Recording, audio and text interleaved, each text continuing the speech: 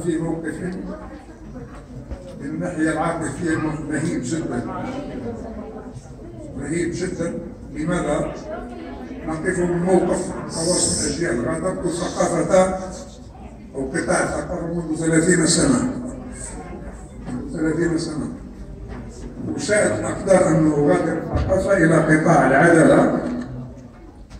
وما يحيط به من أينما أينما يعني بحيث انقطعت انقطاعا تاما عن الثقافة زملاء الأعزاء وأبناءنا الأعزاء الذين التحقوا التحقوا بقطاع الثقافة أخذوا هذه المبادرة وهذه اللفتة الطيبة هذه اللفتة الطيبة بقدر ما تشير إليه من على الصعيد الشخصي من الالتفاتة الطيبة والتكريم ولكنني شخصيا كرجل ثقافة أعطيها قراءة أبعد من هذا.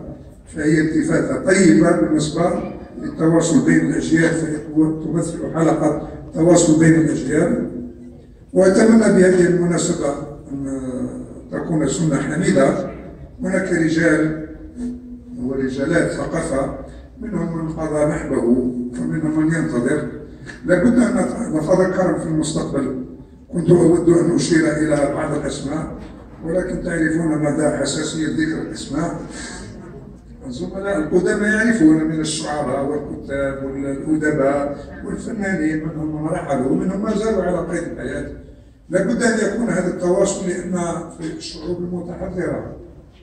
وأذكر هنا بالمناسبة مقولة لمرحوم ولد قاسم عيد القاسم وهو من تضلع في الثقافة الألمانية يحكي في ملتقى من ملتقيات الفكرة الإسلامية أن في ألمانيا الطالب الذي لا يتحصل على المعدل في التاريخ لا ينجح ولو كان معدله 19 هم أناس يؤمنون بأنه لا مستقبل لمن لا تاريخ له. وإذا كان التاريخ في المجالات الأخرى ربما في القطاع التجاري والصناعي يكتسب طابع مادي. ولهذا لو الناس بوجوده. نحسب منجزات نحن المنشآت شكرا ومعامل قال أنجزنا ولكن في واقع الأمر بالنسبة للثقافة لا يمكن الإنجاز بهذا الشكل. بالنسبة للثقافة هو بناء متواصل هو هرم متواصل. أي قطاع في هذا الهرم يجعل من من الصفر وحياة الإنسان قصيرة. كم من مرة يبدأ من الصفر؟ لا يصل أبدا إلى يوم الدين. ولهذا أوصي آه، أبنائي وهذا الجيل بالذات التواصل ثم التواصل. كل ما هو من ماضينا لا سيما في الثقافة والقيم والأخلاق لأن مفهوم الثقافة.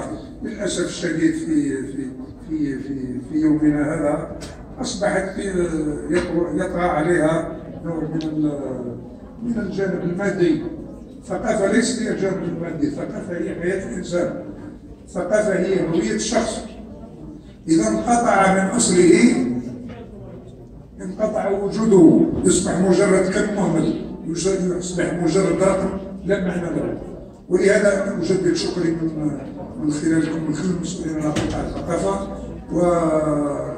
وأخص بالذكر السيد الحاج كيربا الحاج كيربا هو من من الأوائل الذين وضعوا قدمهم في الثقافة منذ سنة 83 ها 85 الدفعة الثانية الدفعة الأولى كانت في 83 83 83 أكتوبر 83 هذا التكوين 83 تخرجت في 85 منذ 83 لا لا لا أن تكون هذه سنة حميدة ونأمل أن نجد هذا الماضي بالنسبة للتاريخ بلي ما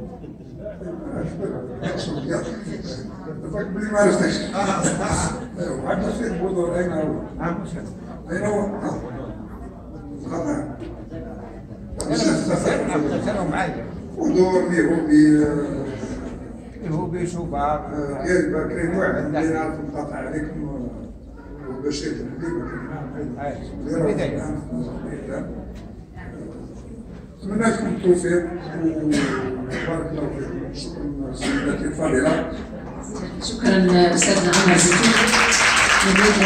عمر زيتون طبعا وأنا بدوري أحيي إلى أستاذي ومكوني الأستاذ عمار زيتوني. طبعا البداية البداية تاع العمل في قطاع الثقافة كان هو اللي يوجهنا ويرشدنا ويعلمنا كيف نعمل كيف تصبح الثقافة مشعل ومنارة علمية بولايه السيناء فشكرا أستاذي الكريم باسمي وباسم اطار قطاع الثقافة ككل لأنك كنت فعلا كنت فعلا آه، رجل رجل بمعنى الكلمة في الميدان. كنت آه، واقف على كل صغيرة وكبيرة في النشاط الثقافي وفي الفعل الثقافي.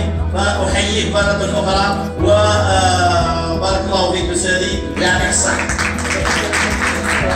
على فكرة كانت تسمى مديرية العمل الثقافي. كانت اسمها مديرية العمل الثقافي مش مديرية الثقافة.